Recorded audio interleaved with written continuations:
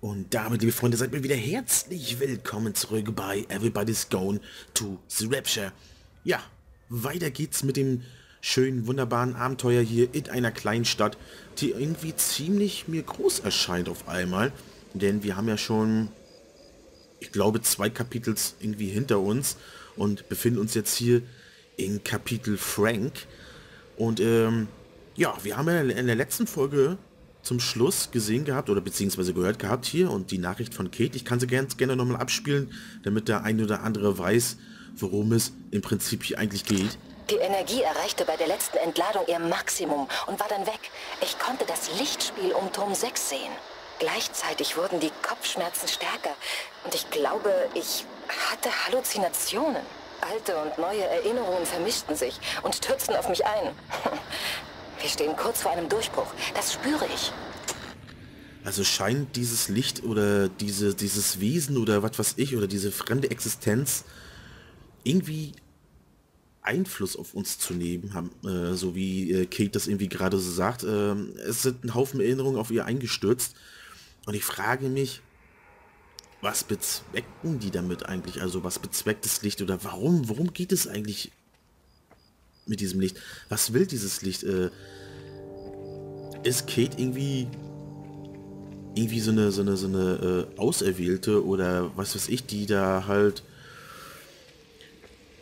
einiges gezeigt wurde oder keine Ahnung. Das ist natürlich alles Mutmaßung, die ich hier jetzt anstrebe. Also ähm, ich weiß es ehrlich gesagt auch nicht. Oh. Morgen, Frank. Du Frank? außer Puste. Was ist los? Der Stuhl im Observatorium ist kaputt. Wollte mir eine Leiter ausleihen. Großer Gott, hinter der Mauer geht's vier Meter tief runter. Ich bin alt, aber nicht unfähig. Kriege ich die Leiter jetzt? Niemand sagt, du wärst unfähig. Reese? Ja, Frank? Holst du die Leiter für Graham? Sie steht neben der Scheune. Mach ich. Und du sei vorsichtig. Nicht, dass Stephen Appleton mir die Hölle heiß macht, weil du dir den Hals gebrochen hast. okay. Er möchte also eine Leiter sich ausleihen. Schön. Und da hinten macht sich das Licht schon wieder breit zu einem nächsten Gespräch, denke ich mir immer, den wir mitverfolgen sollen. Und irgendwie machen wir auch so ein bisschen die Wolken am Himmel ein bisschen so an. Es sieht irgendwie stark nach einem Unwetter aus. Wer weiß. Wir wollen uns mal jetzt äh, weiter hier umschauen, bevor wir uns hier noch äh, festwachsen und Wurzeln schlagen. Ach, hier ist auch wieder so ein, alter, so ein altes Fahrzeug. Taschenlampe. Hier ist wieder eine Werkzeugbank. Ich glaube, hier können wir nichts weiter irgendwie gucken, oder? Wir gucken mal. Wir schauen mal hier in den Auto rein. Ich bin ehrlich gesagt auch ziemlich gespannt, liebe Freunde, wohin dieses Abenteuer uns noch führen wird. Ob wir auch vielleicht noch zum Observatorium kommen. Ich denke mir mal schon. Denn wie wir ja wissen, befindet sich ja Kate im Observatorium. Und hier ist wieder so ein alter Würfel. Guckt euch das mal an. Geil. So ein alter Farbwürfel. Ich habe so einen auch noch hier zu Hause zu stehen. Ich glaube, das habe ich schon mal erwähnt. Aber ich habe allerdings nicht mit vier Reihen, sondern nur mit drei Reihen. Also mein Würfel ist ein bisschen kleiner. Aber damit spiele ich ehrlich gesagt hin und wieder auch noch mal ganz gerne. Mache ich so, wenn ich so vor mir hinschille am Rechner. So, was haben wir hier? Gebietsschilder, Public. Wir können ja hier mal über den über das Feld latschen und rennen mal zu der anderen Scheune rüber. Das sieht ehrlich gesagt hier alles geil aus.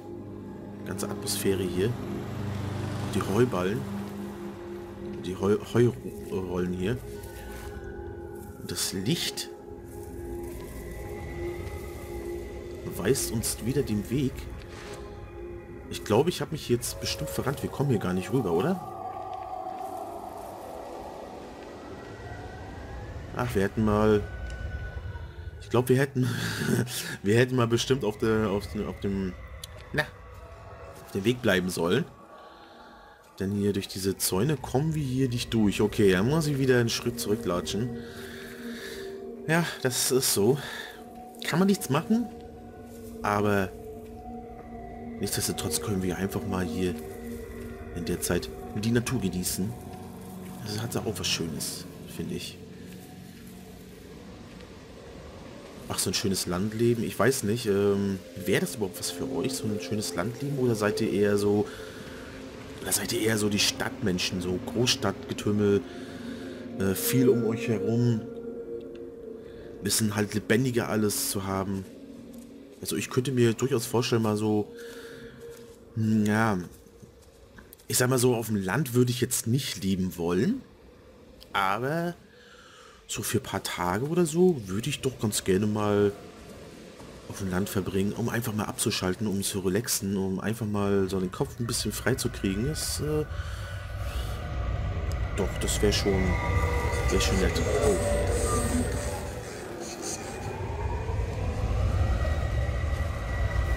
Hey, ich muss mit dir reden. Scheiße, was zum Teufel soll das werden? Was hast du vor? Geh mir aus dem Weg. Das hier ist wichtig. Du warst bei Lizzie. Wenn du ihr wehtust, prügel ich dich windelweich, Junge. Ich muss das Muster verfolgen. Das ist entscheidend. Wovon redest du da, Steven? Die Leute sind krank, die Vögel sterben, meine Kühe sind tot. Wo ist Kate? Noch oben im Turm, soweit ich weiß. Ich könnte die radialen Koordinaten der Primäroszillatoren neu kalibrieren, wenn das anhält. Steven, wo ist Kate? Was ist hier los? Bleib mir einfach vom Leib!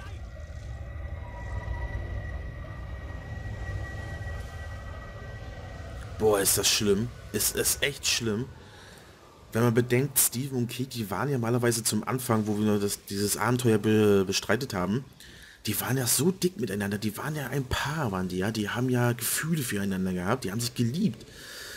Ähm, und mittlerweile ist Steven so dermaßen irgendwie, äh, ja, aggressiv, hysterisch irgendwie und sieht vor lauter Wald die sieht vor lauter Baum den Wald nicht mehr irgendwie. Hast du das Gefühl? Und keine Ahnung, also irgendwie ist im Kate momentan sowas von scheißegal, habe ich so das Gefühl. Ich frage mich allerdings, ob er noch irgendwann mal wieder zur Besinnung kommt. Oder ob er vielleicht an diese ganze Gelegenheit hier schuld dran ist. Es kann auch alles mit Steven irgendwie zusammenhängen, man weiß es nicht. Aber er fällt da doch relativ schon negativ hier auf in diesem Spiel. Also ähm, er versucht ja auf Teufel komm raus hier irgendwie alles zu bereinigen. Und taucht auch in jedem Kapitel irgendwie mal wieder so auf. Und das aber auch nicht positiv, liebe Freunde. Und hier werden wir bestimmt wieder ein weiteres Gespräch äh, mitführen können.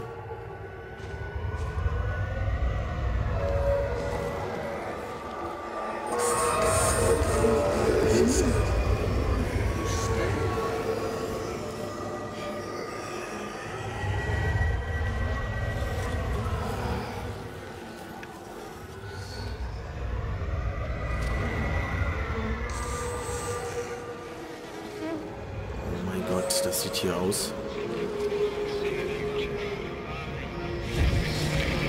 Ist doch was.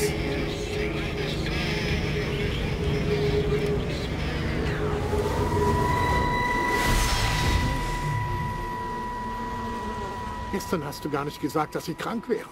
Als ich gestern Schau. Abend nach ihnen gesehen habe, ging es ihnen gut. Und als ich heute Morgen wach wurde, waren sie alle tot. Und Charlie, hast du heute schon mal Vögel gehört? Also, da habe ich nicht wirklich drauf geachtet. Meine Schwester glaubt, sie fallen überall rund um den Recken vom Himmel. Und Dr. Wade meint, im ganzen Dorf werden die Leute krank. Mac meinte, ich bräuchte heute nichts auszuliefern. Das ganze Tal würde unter Quarantäne stehen. Ich glaube, am besten sitzen wir es einfach aus. Das wird schon wieder, Frank. Das wird schon wieder? Ja, stimmt. Das mit deinen Kühen tut mir leid, Frank. Aber wenn sich die Lage beruhigt, klärt sich das. Es muss irgendwelche Regelungen für sowas geben. Du solltest mehr Radio hören. Es sieht überhaupt nicht so aus, als würde sich die Lage beruhigen. Ich sag's dir, Charlie, hier passiert irgendwas Großes.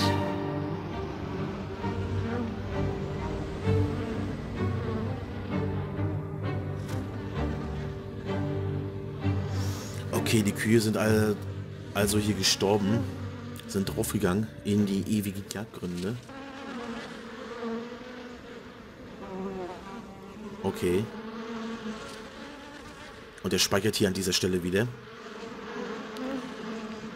Und draußen wird es schon wieder ziemlich hell.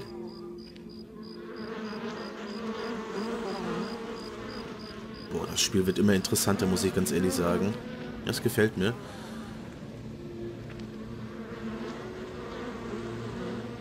Diese ganzen Fliegen hier vor der Scheibe. Da hinten fliegt schon wieder dieses Licht umher, aber wir werden uns jetzt erstmal hier noch ein bisschen umschauen und die noch nicht gleich verfolgen. Ist auch ganz cool hier. Geile Sache. Nicht schlecht, nicht schlecht.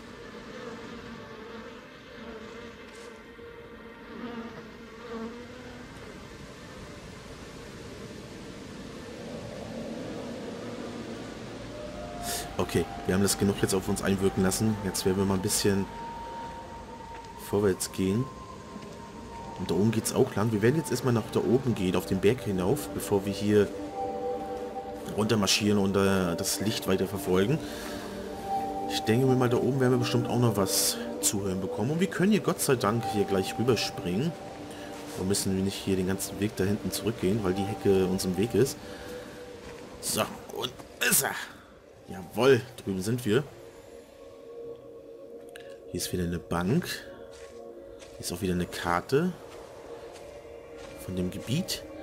Mal gucken, wo befinden wir uns jetzt? Wird uns das hier da gezeigt? Jura hier. Wir sind dort. Da wird es uns angezeigt mit dem roten Pfeil. Okay. Scheinen wir uns einmal komplett in dem Kreis zu bewegen. In dem Gebiet. Das ist ja mal sehr interessant. Falls ihr was, äh, falls ihr so ein Geschnarche hört irgendwie hier so im Hintergrund, ähm, dann sieht mir das ein bisschen nach. Das ist mein Hund. Der schläft wieder seinen Schlaf der Gerechten hier. Quarantäne. Wir kommen nicht rein, verdammt. Und ich höre aber ein Telefon. Warum kommen wir da nicht rein? Hm. Ob es einen anderen Weg da reingibt? Reingibt? Kommen wir vielleicht von der anderen Seite irgendwie rein? Müssen wir mal gucken. Bin ich ja mal sehr gespannt. Da hinten ist hier scheint ja auch noch was zu sein da oben. Vielleicht kommen wir irgendwie von der anderen Seite rein. Wir werden einfach mal den Weg hier lang marschieren. Vielleicht finden wir ja noch einen anderen Einstieg bzw. Weg hinein. Ich bezweifle das ehrlich gesagt stark, aber ich will hier alles ausprobieren. So. Hier führt immer noch ein Zaun lang. Darum scheint auch alles eingezäunt zu sein. Hier haben wir vorhin Steven ja belauscht. Ich glaube, wir kommen da nicht hoch, oder? Ne, wir kommen da nicht hoch. Schade. Warum kommen wir da nicht hoch? Dann kommen wir ja bloß wieder zu, hinten zurück zu diese... zu der Scheune da. Wo wir Frank zugehört haben, wo sein anderer Kollege, Freund sich eine Leiter ausgeliehen hat. Hm. Ne. Das hat ja keinen Sinn, wenn wir da hinten lang laufen. Da kommen wir nicht oben rein. Vielleicht, äh, vielleicht weiter vorne. Man weiß es ja nicht. Äh, vielleicht gibt es da ja noch irgendwie einen Weg, dass wir da reinkommen.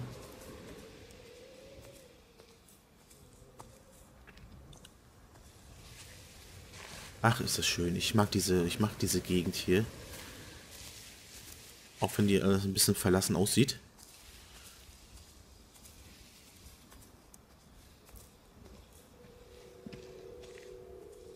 Ich höre schon wieder was. Da unten waren wir ja. Zu der Mühle gehen wir auch noch mal hin, falls wir ähm, dorthin kommen.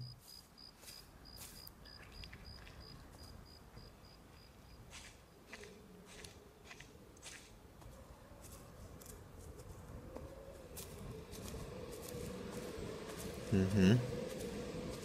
Okay. Können wir jetzt hier irgendwie...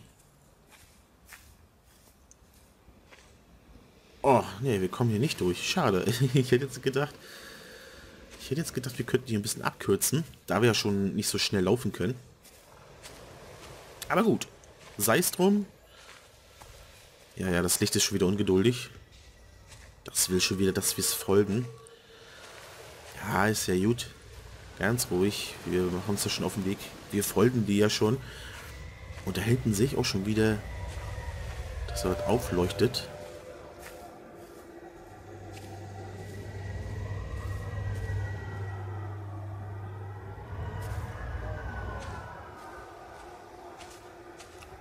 Nicht schlecht. Oh. Dass hier Steven ist. Na bitte. Hey Frank. Danke, Frank. Jetzt steht es nicht mehr im Weg. Keine Ahnung, was los ist. Es ist einfach ausgegangen. Starte nochmal. Und ich habe doch gerade erst noch vollgetankt. Liz. Robert ist mit dem anderen Wagen im Ort. Ich wünschte, er käme zurück. Er hat versprochen, heute Morgen zurück zu sein. Glaubst du, er ist wieder mal auf Sauftour? Oh, ich kann ihn nicht rund um die Uhr überwachen, Frank. Er ist kein Kind. Was ist los, Lizzie? Gar nichts. Du triffst dich wieder mit Steven, oder? Ihr beide könnt wirklich nicht so weitermachen. Falls Robert bis jetzt noch nichts gemerkt hat, wird er es bald. Nicht, wenn er weiter so trinkt wie bisher. Oh, Scheiße. Verzeihung, Frank, aber diese verdammte Schrottkarre. Warum springt das Ding nicht an? Na komm, ich nehme dich mit.